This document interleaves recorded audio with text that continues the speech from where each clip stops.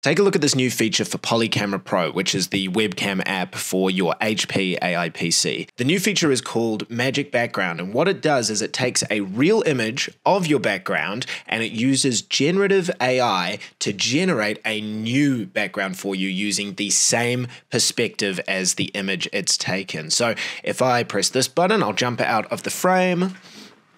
And this is the image that it will use to generate a new background. These are your different styles to choose from. They kind of actually look like a standard Teams background, but the difference is it will have the perspective of your webcam. So here's the background that it's generated. Here you can see my real background compared with that generated one. Now, you may be surprised how these images are generated. Take a guess. Do you think they are uploaded into the cloud and processed in a server somewhere?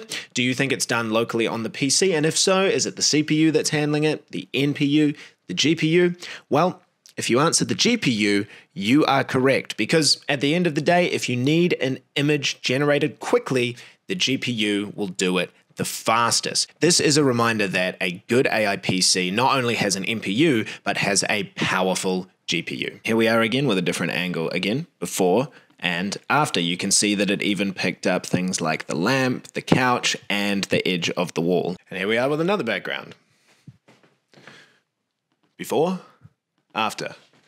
Wow, it's like we're it's like we're really there. So regardless of what space you're working in, what camera angle you're using, there'll always be a virtual background that you can use.